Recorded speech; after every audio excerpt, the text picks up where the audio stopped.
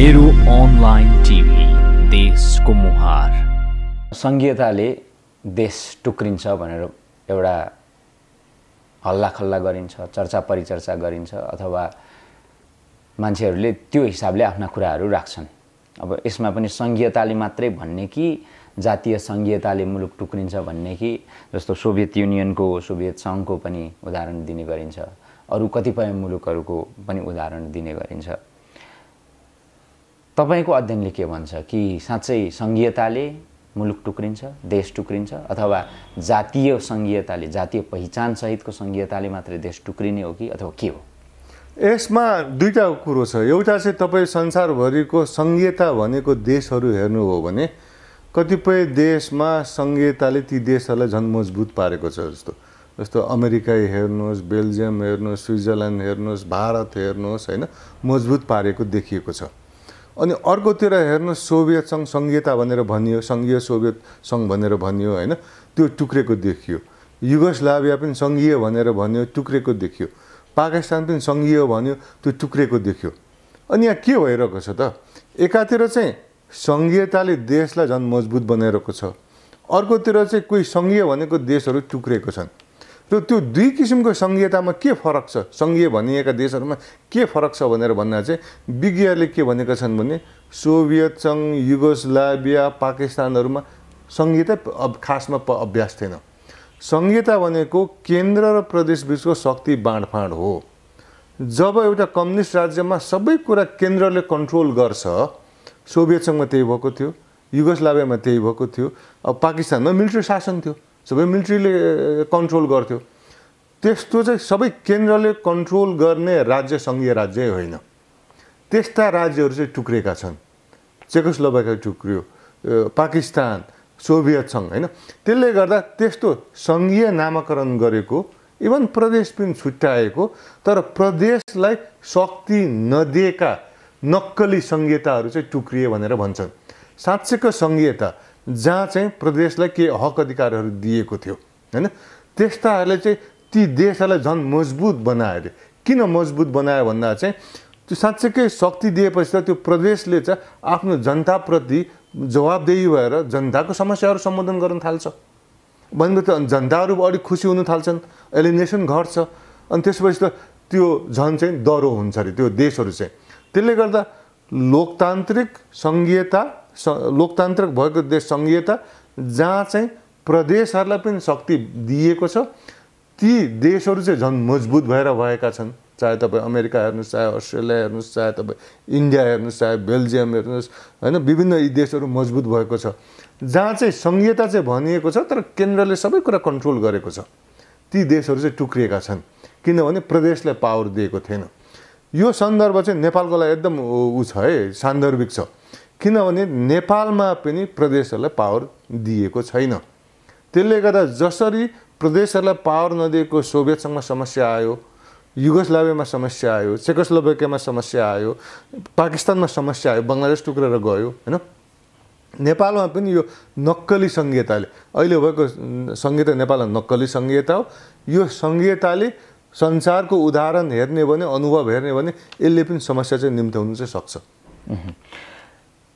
अब धेरैले तर्क गर्ने गरेका छन्। सङ्घीयताको नेपालमा आवश्यकता समाप्त भयो या सान्दर्भिकता छैन भनेर तर्क गर्ने समूह भनौँ मानिस भनौँ र कतिपय राजनैतिक दल पनि छन् नेपालमा होइन? उनीहरूको तर्क के छ भने पुरानै व्यवस्था ठिक थियो राज संस्थासहितको व्यवस्था ठिक थियो भनेर तर्क गर्ने गरेका छन्। र त्यस सँगसँगै तपाईँलाई जोड्न खोजेको प्रश्न चाहिँ के नेपालमा साँच्चै सङ्घीयता बिनाको व्यवस्था अथवा जुन एकात्मक व्यवस्था भनेर हामी बुझ्छौँ त्यो खालको व्यवस्था नै ठिक हो? यसमा चाहिँ नि अगेन फेरि पहिलो कुरो चाहिँ नेपालमा सङ्घीयता आएको चार पाँच वर्ष मात्र हो होइन? त्यसले गर्दा सङ्घीयताले पर्फर्म गरेकै छैन। सङ्घीयतालाई नेपालमा जे जति समस्याहरू भएका छन् त्यसको लागि दोष दिनै सकिँदैन मिल्दैन। यसले त काम त गर्नु दिनु पऱ्यो नि त। पहिलोपल्ट। पहिलो सवाल। दोस्रो सवाल चाहिँ यदि एकात्मक व्यवस्थाले नेपालमा काम गर्ने भएको भए त नेपालमा त दुई सय पचास वर्ष त एकात्मक शासन व्यवस्था भइसक्यो। राजतन्त्र अन्तर्गत थियो राणाहरू अन्तर्गत थियो पछि बौद्धले लोकतन्त्र अन्तर्गत पनि एकात्मक व्यवस्था थियो।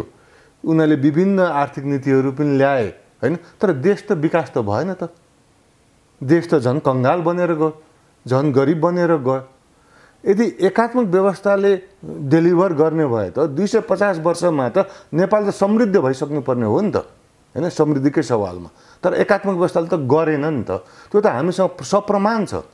नेपालकै सवालमा नेपालकै इतिहासले प्रमाणित गरिसकेको छ नेपालको लागि एकात्मक व्यवस्थाले काम गर्दैन। अब दुई सय पचास वर्ष अर्को पचास वर्ष हामीले फेरि अनुभव लिने त। दुई सय पचास वर्षले देखाइसक्यो नि त नेपालमा एकात्मक व्यवस्थाले काम गरेन भनेर। अब त्यसको लागि त्यो एउटा पक्ष छ। अनि अर्को पक्ष चाहिँ के छ भने संसारभरिको इतिहासले चाहिँ एकात्मक बहुजातीय भएको देशमा चाहिँ एकात्मक व्यवस्था रह्यो भने चाहिँ ठुल्ठुलो द्वन्द्वहरू निम्त्याउँछ। जस्तो मैले अस्ति रुवान्डाको कुरा गरौँ। रुवान्डामा द्वन्द्व निम्त्याएको एकात्मक व्यवस्थाले हो। कि रुवान्डामा कहिले पनि सङ्घीयता थिएन। त्यस्तै तपाईँ सुडान हेर्नुहोस्। होइन? सुडान पनि पहिला सङ्घीय व्यवस्था थियो पछि त्यसलाई अरबीमा नर्थको अरबीहरूले त्यसलाई तोडेर एकात्मक व्यवस्था गरे अनि त्यसपछि त ठुलो द्वन्द्व भयो। ठुलो द्वन्द्व भएपछि अहिले त्यो देश टुक्राउनु पर्यो होइन? सङ्घीयतै रहेको भए त्यो देश टुक्रिँदैन थियो। तर सङ्घीयतालाई सखाप पारेर एकात्मक व्यवस्था ल्याएपछि द्वन्द्व यति चर्कियो कि पछि सङ्घीयताले पनि त्यो थाम्न सकेन। श्रीलङ्कामा तिस वर्ष लामो द्वन्द्व भयो सेपरेटिस्ट मुभमेन्ट भयो। त्यो पनि सङ्घीयता नदिएकोले एकात्मक व्यवस्था अन्तर्गत त्यो चाहिँ द्वन्द्व भएको थियो। त्यसले गर्दा एकात्मक व्यवस्थाको चाहिँ नेपालमा अहिले मैले अघि भने नेपाललाई कङ्गाल मात्र एकात्मक व्यवस्थाले कङ्गाल बनायो देश विकास गर्न सकेन। अब नेपाल जस्तो बहुजातीय देशहरू चाहिँ एकात्मक व्यवस्था रहिरह्यो भने अहिलेको लोकतान्त्रिक परि पृष्ठभूमिमा जहाँ चाहिँ विभिन्न जाति समुदायलाई हामीलाई स्वायत्तता चाहियो अनुसारको स्वायत्तता चाहियो भनेर भनेका छन् उनीहरू चुप लाग्ने छैनन्। त्यसले गर्दा यहाँ फेरि एकात्मक व्यवस्था ल्याइयो भने कि त सुडान जस्तो यो देश टुक्रिन सक्छ कि त के अरे श्रीलङ्का जस्तो ठुलो द्वन्द्व हुनसक्छ कि त के अरे रुवान्डा जस्तो ठुलो द्वन्द्व हुनसक्छ त्यसले गर्दा संसारभरिको इतिहास तपाईँले हेर्नुभयो भने नि कस्तो देशहरू टुक्रियो भनेर भन्दाखेरि प्रायः एकात्मक व्यवस्था वा नक्कली सङ्घीयता सङ्घीयता भनेको तर खास सङ्घीयता नभएका देशहरू टुक्रेका छन्। साँच्चैकै सङ्घीयता भएको देशहरू बिरलै टुक्रेका छन्। त्यसले गर्दा नेपालमा एकात्मक व्यवस्था फेरि ल्याउनु भनेको अहिलेको अवस्थाभन्दा पनि नेपाल झन् गरिब हुनसक्छ वा विकासै हुँदैन। त्यति मात्र होइन एकात्मक व्यवस्थाले फेरि यो देशै नहरला भन्ने पनि प्रश्न चाहिँ आउन सक्छ। अब करिब अन्तिमतिर जस्तो यो प्रदेशहरूमा प्रदेशका कर्मचारी प्रदेशका माननीयहरूलाई गरिने खर्च अहिले खर्बौँ पुग्यो भनेर भनिन्छ। उपलब्धि केही छैन। तपाईँले अघि उल्लेख गर्नुभयो अधिकारै छैन भनेर भन्नुभयो। तपाईँले कुनै समयमा भन्नु पनि भएको थियो यस्तो खालको नक्कली सङ्घीयता हुनुभन्दा त नहुनु नै ठिक हो एक हिसाबले पनि भन्नुभएको थियो। साँच्चै यो सङ्घीयता अथवा प्रदेशको जुन हाम्रो संरचना छ त्यसले देशको अर्थतन्त्रलाई डामाडोल बनाएको हो अथवा अधोगतितर्फ लगेको हो धेरै खर्चै भएको हो। तपाईँले त्यस्तो केही अध्ययन गर्नुभएको छ? ठुलै खर्च भयो त्यो खर्च चाहिँ अब त्यो खर्च भनेको आवश्यक खर्च हो कि होइन? हामीले आफ्नो बालबच्चालाई पढाउनुको लागि खर्च हुन्छ। हजुर। त्यो खर्च गर्ने कि नगर्ने? होइन? एउटा व्यापारीले त्यसै त पैसा कमाउँदैन। उसले त ऋण पान गरेर सेभिङ गरेर एउटा पुँजी तयार गरेर ऊ त इन्भेस्ट गर्छ। यो कतिपय कुरोहरू छ नि सङ्घीयता अन्तर्गत सात प्रदेश अन्तर्गत यति कर्मचारी भयो आदि इत्यादि भनेको। ती कर्मचारीहरूले ती नेताहरूले काम गर्न सकेका छैनन् किन उनीहरूलाई अधिकार दिएको छैन। जब उनीहरूलाई अधिकार दिइन्छ ती प्रदेशहरू शक्ति सम्पन्न हुन्छन् शक्ति सम्पन्न भएपछि त्यो जति खर्च भएको छ नि जसरी हामीले एजुकेसनमा खर्च गरेको पछि रिटर्न पाइन्छ नि। त्यस्तै त्यो कर्मचारी राखेको त्यो लेजिस्लेचरहरू राखेको त्यसको रिटर्न बेजोड आउँछ। संसारले त्यही देखाएको छ नि मैले अघि पनि भने अमेरिका सङ्घीयता अप्नाएर विकास भयो स्विजरल्यान्ड सङ्घीयता अप्नाएर विकास भयो होइन?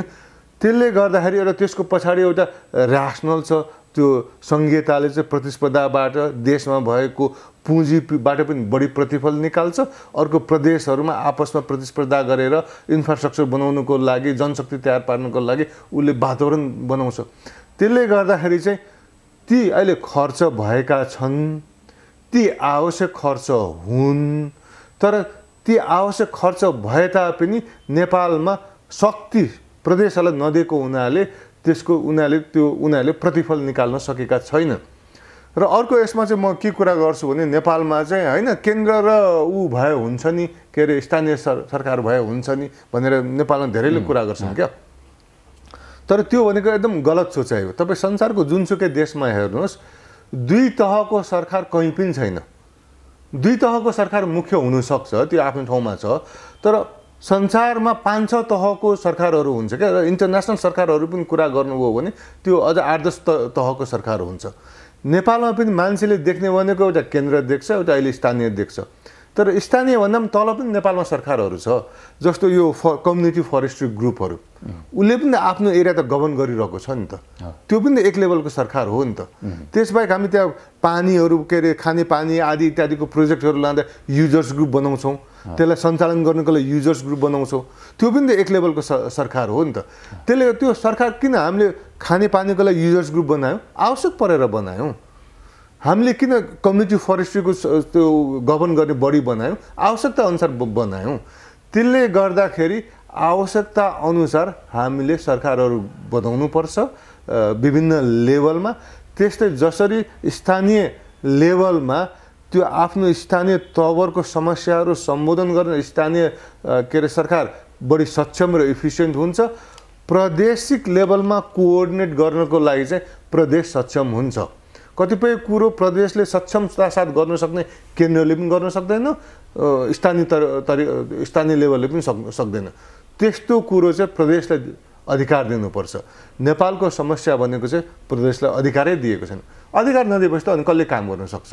तपाईँलाई एउटा दसजना मान्छेलाई आज खाना खुवाउनु पऱ्यो है भनेर अनि एक सय रुपियाँ मात्र दियो भने त तपाईँले त त्यो द दसजना मान्छे त खाना खुवाउनु सक्नुहुन्न नि त।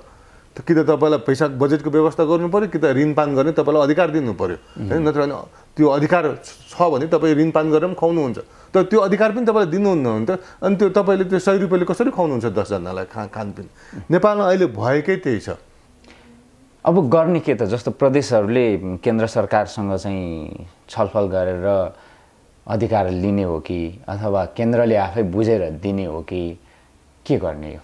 अब अहिलेको छाँटाटमा के देखिन्छ नेपालमा काठमाडौँको मान्छेहरू यति केन्द्रीकृत सोचाइबाट ग्रसित छन्। यो बाहिरकै मान्छे पनि काठमाडौँमा आएपछि ऊ चाहिँ त्यो शक्तिमा भएपछि उसले सबै कुरा काठमाडौँमा मात्र होस् भन्दा रहेछ क्या।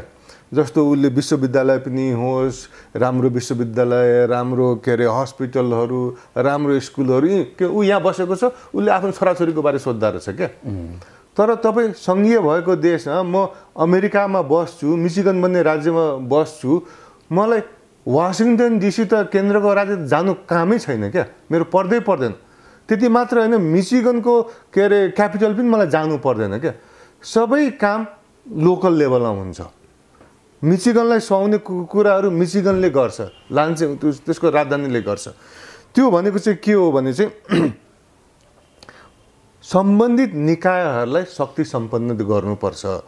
नेपालमा अहिले गर्नुपर्ने के हो भने एक सङ्घीयता भन्ने हो भने प्रदेशहरूलाई हामीले साँच्चैकै शक्ति दिनु पर्यो अरू दुई नेपालमा चाहिँ बहुजातीय बहु बहुभाषिक देश हो।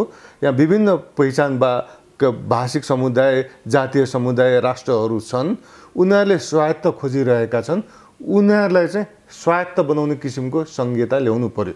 यो सात प्रदेशको सङ्घीय खाका भनेको एकल जातीय सङ्घीय खाका हो। यो एकल जातीय यो सङ्घीय खाकालाई हटाएर हामीले बहुजातीय सङ्घीय खाका ल्याउनुपर्छ र यसमा मैले मुख्य इम्फासिस गर्नु खोजेको चाहिँ के भने नेपालमा जातीय जातीय भने घृणाको कुरोहरू गरिन्छ तर नेपाली राज्य पनि एकल जातीय राज्य हो।